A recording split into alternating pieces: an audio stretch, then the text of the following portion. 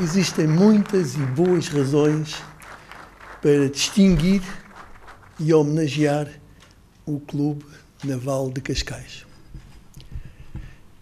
Este ano vai celebrar o seu 75º aniversário. E ao longo da sua história tem sido um dos maiores impulsionadores em Portugal da prática da vela. Tem contribuído para a difusão de uma cultura marítima no nosso país que devemos reforçar e em que muito eu próprio me tenho empenhado. Sabemos que a maior parte dos velejadores portugueses que participam nos Jogos Olímpicos são oriundos do Clube Naval de Cascais. Tem sido um embaixador por esse mundo fora da prática da vela por parte dos portugueses.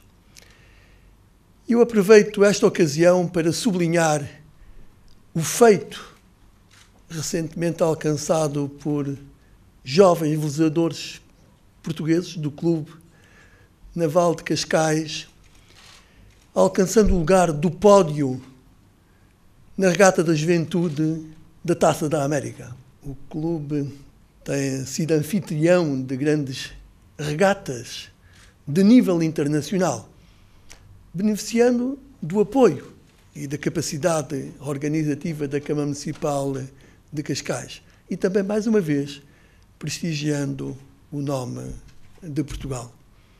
Quero também referir o trabalho que o clube tem vindo a realizar na adaptação da vela para cidadãos portadores de deficiência. É algo que me toca de forma muito particular. O clube está a demonstrar que eles também podem praticar a vela. Eu decidi, nesta ocasião, atribuir ao Clube Naval de Cascais o título de membro honorário da Ordem do Infante do Henrique. E a Ordem do Infante do Henrique é precisamente a mais apropriada para ser atribuída ao Clube Naval de Cascais. Em nome do Clube Naval de Cascais, dos seus sócios, dos seus funcionários, é para mim um grande privilégio e honra de agradecer a atribuição do título de membro honorário da Ordem do Infante do Henrique, com o qual o Sr. Presidente teve a grande gentileza de agraciar o nosso clube. E é altamente prestigiante ver o nome do nosso clube associado ao do grande impulsionador do enorme designo nacional que foram as descobertas marítimas. Esta distinção é também devida aos sócios do clube e aos seus velejadores e atletas que, tal como o seu presidente referiu, obtiveram excelentes resultados com as cores de Portugal e do clube em tantas provas, tanto em Portugal como no estrangeiro, nomeadamente nos Jogos Olímpicos, não só no passado histórico, mas também na atualidade.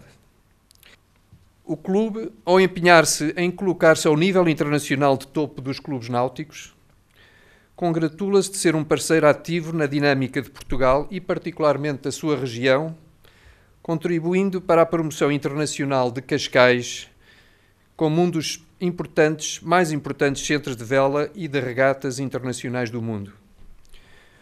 Tudo isto tem sido possível não só graças ao envolvimento de todos os que já que aqui referi, como também às excepcionais condições da Baía de Cascais para a prática da vela.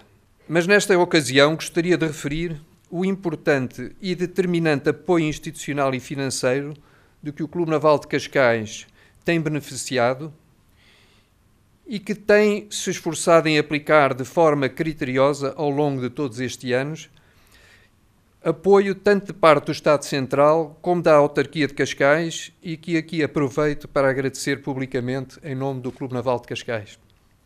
E faço votos que os 75 anos agora distinguidos sejam um exemplo para outros tantos anos e longos anos de atividade no Clube Naval de Cascais.